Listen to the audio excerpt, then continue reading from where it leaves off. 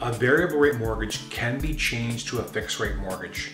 What the lender will do is they'll look at the remaining term on the mortgage and they will give the borrower whatever that fixed rate is for the remaining term.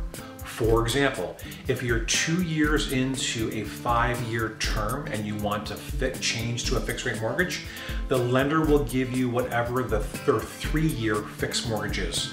That's the balance of the five year term and then the, pay, the borrower will then pay that fixed rate for the remainder of the five-year term.